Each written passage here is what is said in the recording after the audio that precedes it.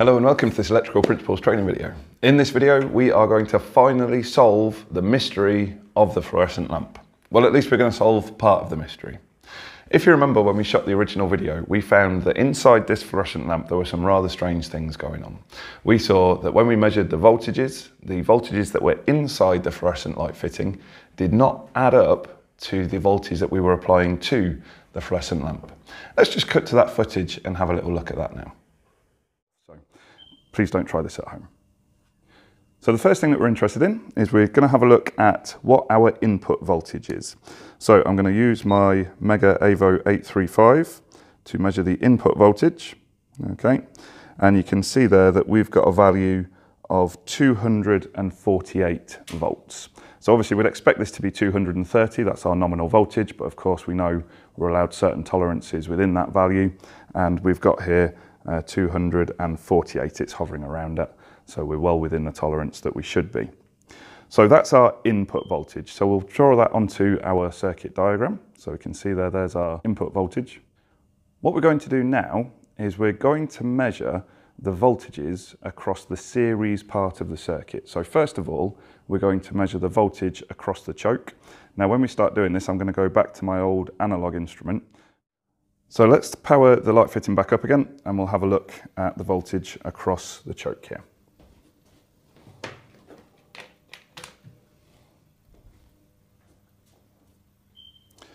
So we can see the voltage across the choke. Uh, we're just between 120 and 130 volts there. So we're on 125 volts. So I shall put that onto the circuit diagram so we can see that there.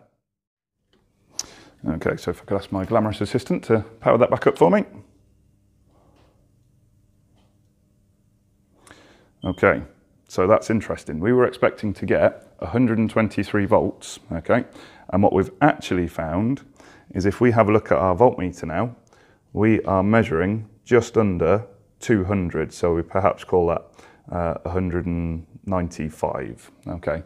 So we've actually got a very, very funny reading here. If we look at our circuit diagram, we're putting in 248 volts, and then when we measure the voltage across the choke and measure the voltage across the lamp, it looks like we've got more voltage inside the circuit than we're putting into it. Now that seems like a very odd thing, and at first glance it seems to defy the laws of physics. However, there is more going on here because of course we are connected to an AC supply. So there's deeper things going on here. So we can see that strange behaviour going on with those voltages there and how they don't seem to add up properly. We also had some issues with the current as well that were behaving in a slightly strange way, but we're going to cover that in the next video in this series. If you need to recap on any of this material, I think it's really important that you go back and watch the original Mystery of the Fluorescent Lamp video now, so that you're fully up to speed with what was going on inside there. Now, since the initial release of that video, we've been through a long series of videos covering AC theory and we've gathered lots and lots of information. And all of that information ended up on a worksheet that we filled in over the course of several videos and you can see an image of that worksheet here. Hopefully, from the previous video in this series, you've got that completely filled in. We did a quick summary of that to make sure that we had all the boxes completed. And what we're going to do is we're going to use some information from that worksheet to help us solve the mystery of the fluorescent lamp. So what we're going to do now is we're going to have a look at the circuit diagram that was produced for the fluorescent lamp in that original video and we're going to start figuring out what's going on with these voltages and how we can get them to make sense. So let's cut to that now. So here you can see you've got the circuit diagram for the fluorescent lamp. You can see that we've got the choke here, which of course we now know when we look at the symbol for that choke, we know that that is an inductive load. And we've got the symbol representing the lamp and we can see that that is a resistive load. Now for the time being, we're considering the fluorescent lamp as it is without the capacitor connected. So we're just looking at the choke and the lamp connected in series with each other. So we've got our two voltages and we've got our supply voltage, but for some reason these don't seem to add up to each other. So how can we kind of make this make sense? Well, the answer lies, the secret lies inside the phasor diagrams. So let's have a look at our resistive load first of all. So here's our lamp, and you can see that if we draw the phasor diagram underneath the lamp there, do you remember what that phasor diagram would look like? it's a resistive load, so current and voltage are in phase. So we can just draw the phasor diagram as it is on our sheet and we can just fill it in underneath the circuit there. What we can then do is look across at our inductive load. Now in the inductive load, we know that current is lagging voltage. And so the phasor diagram will look something like this. Now, a key point at this stage to bear in mind is that we're looking at a series circuit. So the inductor and the resistor are connected in series with each other. Now we know from previous videos that in a series circuit, the current is constant. So however much current we put into the system, the same amount of current will appear everywhere within that system.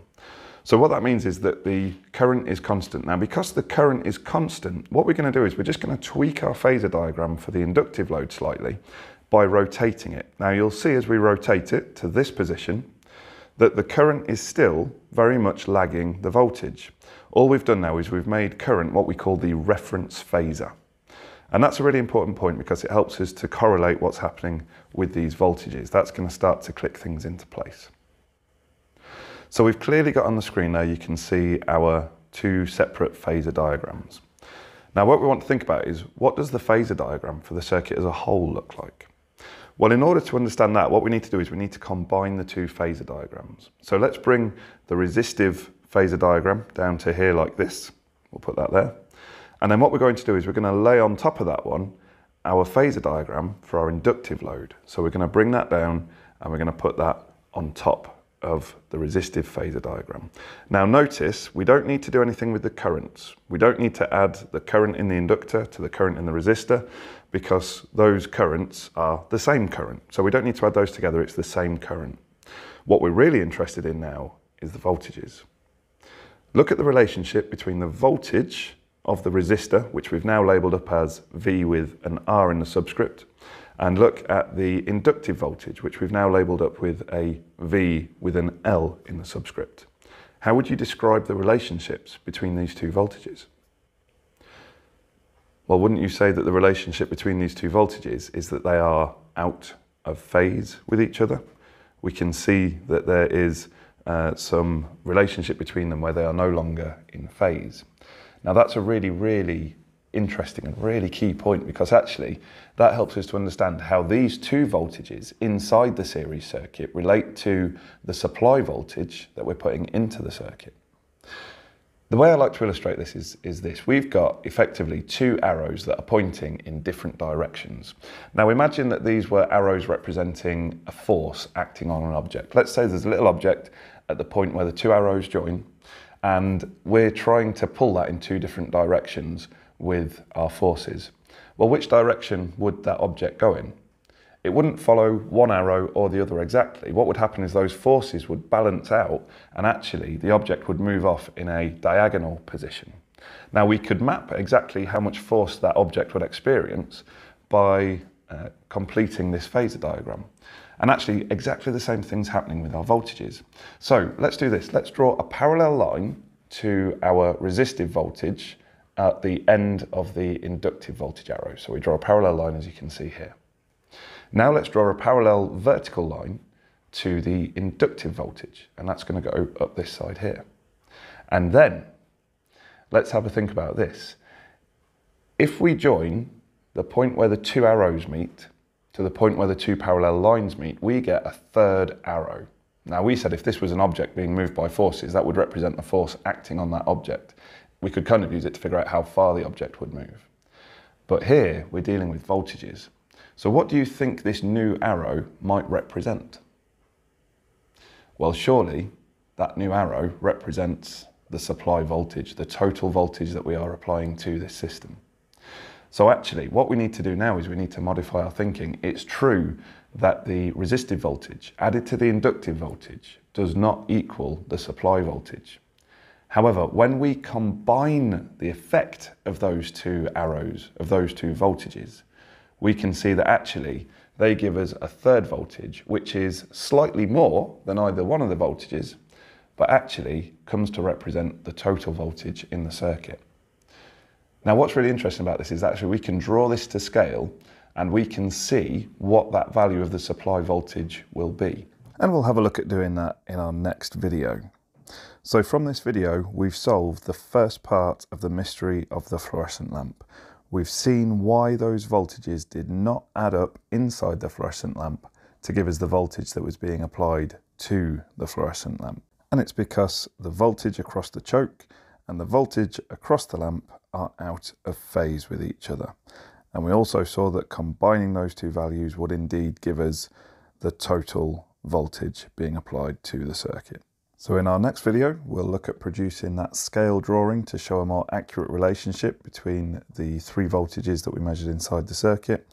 And then we'll go on to have a look at how the current was behaving inside our fluorescent lamp. Thank you very much for watching.